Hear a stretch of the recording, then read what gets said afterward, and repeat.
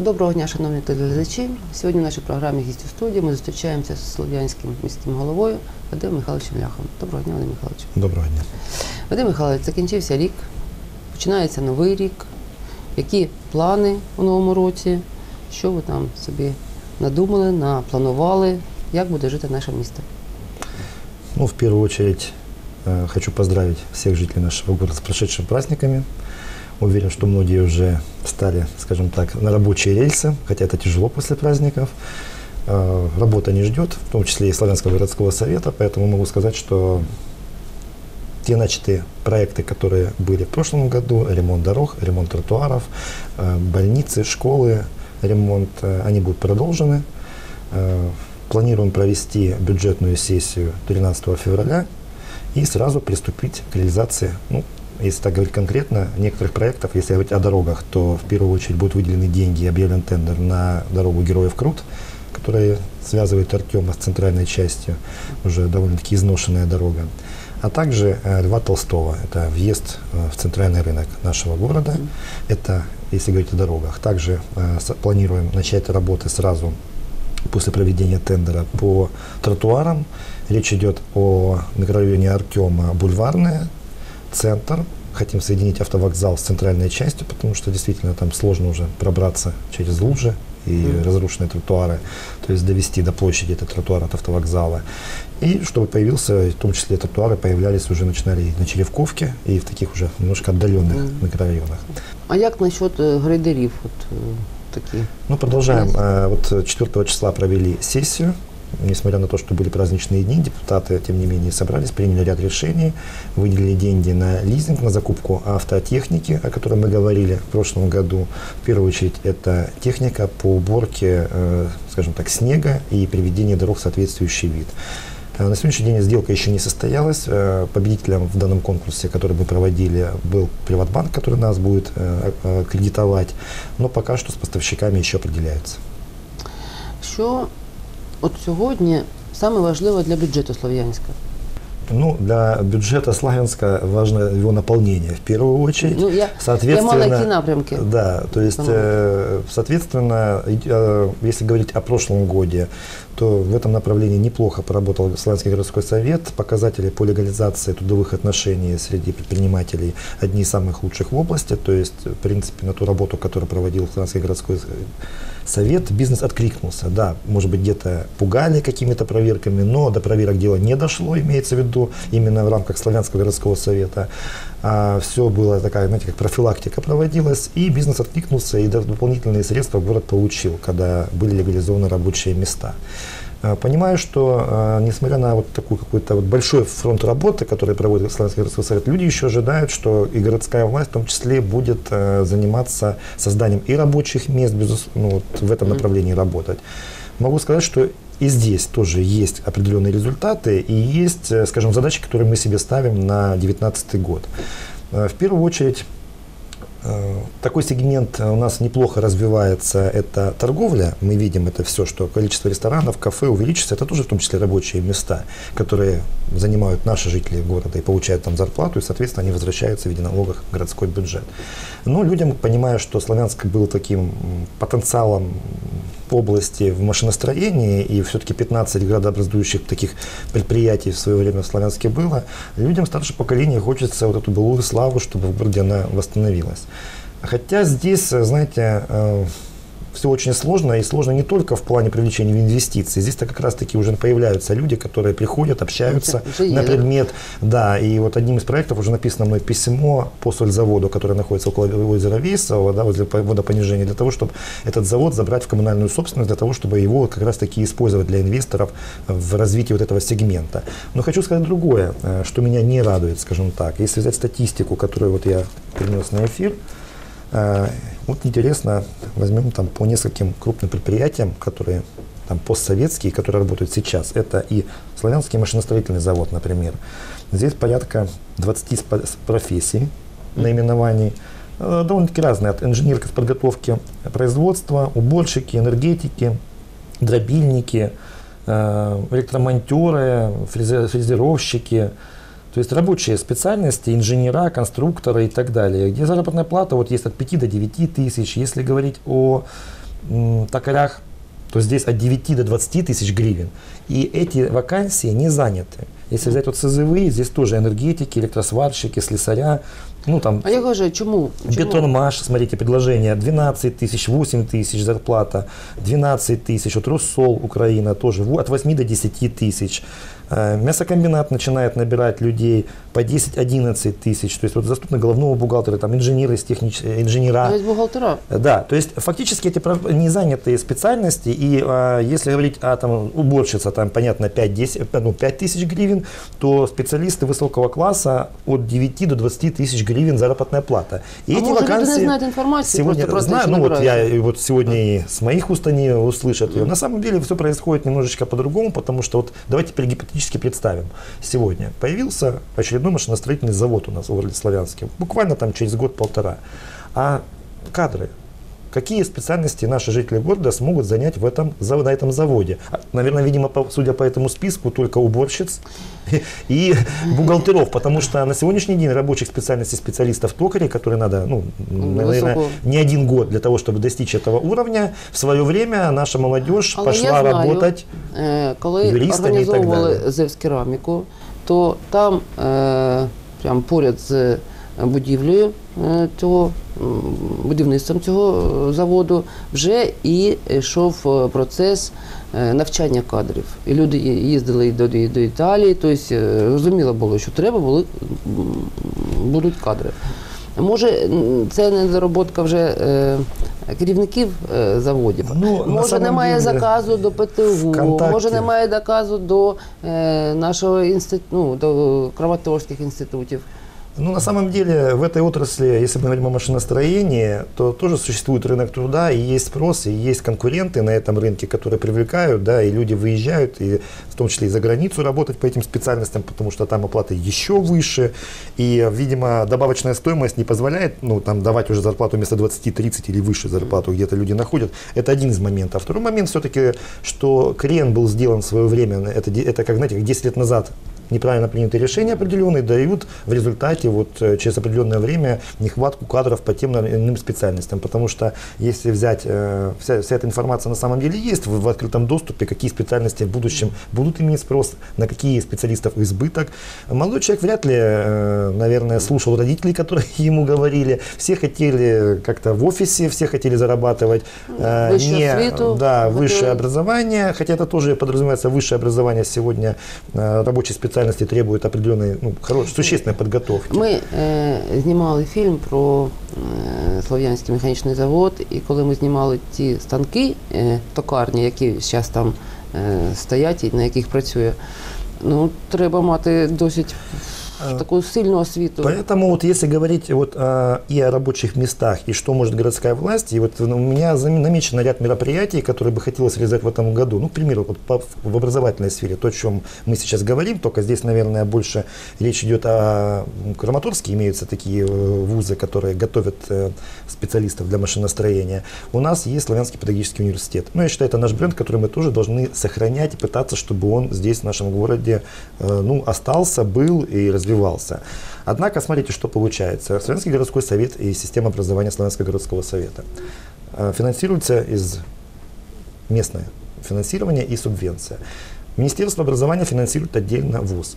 У нас есть, да, лицей такой проект, да, совместный городского совета, хорошо. Но я считаю, что нужно шагать дальше в том плане, что сегодня мы уже можем выделить определенные деньги да, для совместные проекты, которые бы между университетом и э, нашими, скажем так, нашим отделом образования, для того, чтобы реализовать часть э, программ, потому что у нас фактически есть инкубатор, да, где есть дети, которые готовы ну, воспринимать новые методики в образовании, да, если для этого необходимы методические какие-то материалы, мы готовы их закупить. То есть вот я уже общался с руководителем университета, дал такое задание нашему, скажем так, отделу образования, чтобы к новому учебному году мы вышли э, каким-то совместным проектом, каким это мы поговорим дальше. Я, допустим, вижу, к примеру, э, большой спрос сегодня есть на изучение иностранных языков. Не все родители могут сегодня позволить себе дополнительного репетитора. Однако, наверное, согласитесь со мной, что в рамках школьной программы сегодня освоить язык на должном уровне, как бы это хотелось бы родителям, вряд ли, наверное, возможно.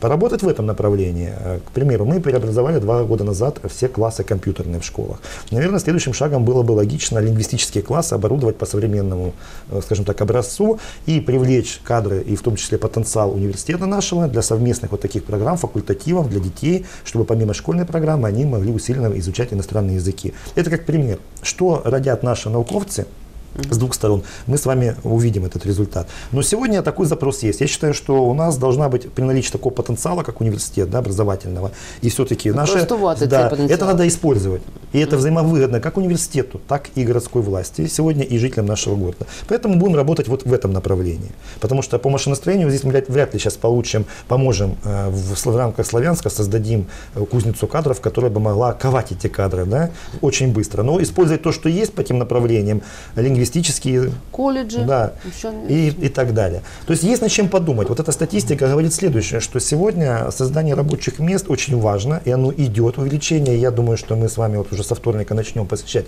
предприятия, которые появились у нас в 2018 году. Вот, и уже, наверное, что во вторник съездим на одно из предприятий, я уже договорил, Очень скажем цікаво. так, да, с журналистами, посмотреть, потому что это тоже рабочие места, и это налоги в наш бюджет. И такие серии репортажей с вами сделаем, покажем, кто у нас появился, пе- первенцы 2018 года, кто у нас тут с неподконтрольной территории привел свой бизнес. Пообщаемся на эту тему. Ну, для людей Однако дуже образование важливо и кадры навіть очень чути важно. про це, бо можна казати, що 4 роки ми живемо в якій такій депресіонній якійсь зоні. е, Де люди ну, вагаються, щоб сюди прийти зі своїми грошами, там якісь інвестиції.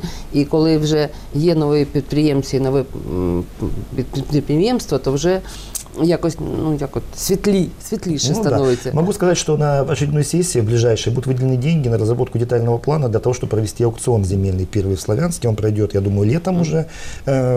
Э, как бы будет э, право аренды на аукционе открытом разыграно в центре города под торговый комплекс большой. То есть это тоже 300-350 рабочих мест дополнительных. То есть это ну, такого уровня, как ярмарочный, вот э, Гринплаза строится, и еще один у нас появится. Пока что, конечно, мы видим визуально, что идет увеличение рабочих мест, количество вот в, этой- в этой сфере. Есть спрос. Да, есть переселенцы, есть приезжают люди из других регионов, есть там возможность э, как бы потратить деньги в Славянске, это тоже хорошо.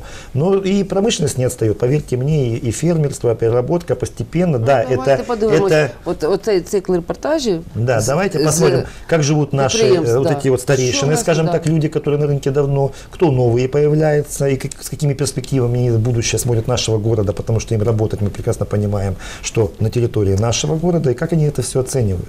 Ну і е, хотілося б ще запитати у вас про те, що нам осталося з, ну, з прошлого року. А це будівництво і відкриття 13-ї школи і парк Шовковичний. Значит, по э, 13 школе на сегодняшний день в 100% выполнены все строительные работы, по- помещение готово к приему учеников. Э, На 90% закуплено уже оборудование, все необходимое, парты. вот. Однако уже третий тендер не может состояться по техническим причинам, потому что есть э, вопросы к поставщикам мебели, это речь идет о поставке мебели, процентов на 10 недоукомплектована школа, и вот последний тендер, который ну, в начале года был объявлен и э, было вскрытие, скажем так, аукцион торгов, опять э, участник был отклонен за, ну, как бы не правильно поданные документы. Вот э, 21 числа, 21 января очередное будет вскрытие, как мы называем так, да, предложений, которые поступили по тендеру. Все будет зависеть от того, если уже будет определен победитель, то значит в течение месяца это, эти недостающие парты будут поставлены.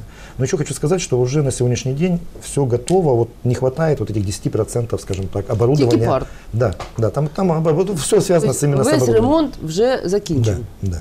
І тільки парти.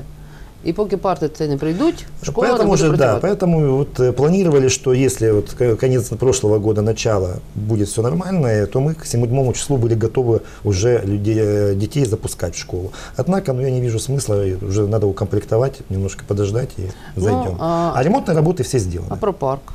Про парк работы ведутся, э, дополнительно мы уже с вами говорили, финансирование выделено.